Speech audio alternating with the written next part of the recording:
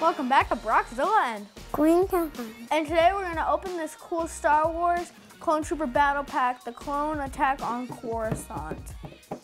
And so it includes blaster rifles and pistols. Let's go ahead and open it. So there's this um the gunship, the LAT, um the picture that they're flying in.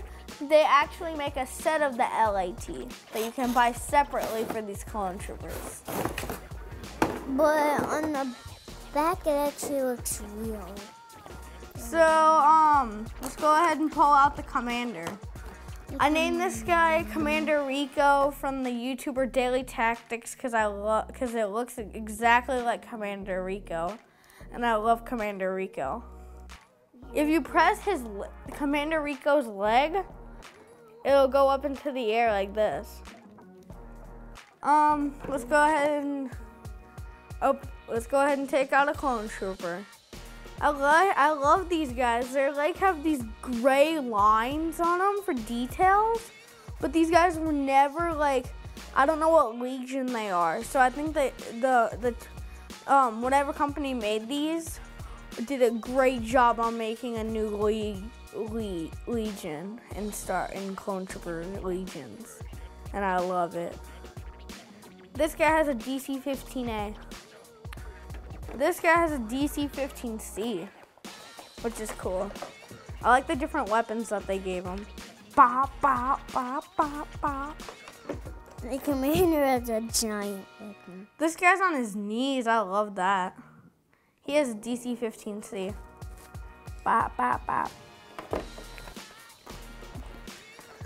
I wanna go. to- This guy has DC 15A. Oh, I bet if you bend the legs like this, it points his gun up. I mean, his blaster up. And so, like, he's like holding his gun and he's not gonna stand down and he'll shoot. Hey, That's hey, awesome. Look. You can put stuff in the in their oh, back. Oh, yeah, they have holes in the back of them so you can sell like backpacks and stuff in the back. We can uh, play with the cardboard gunship like they're flying.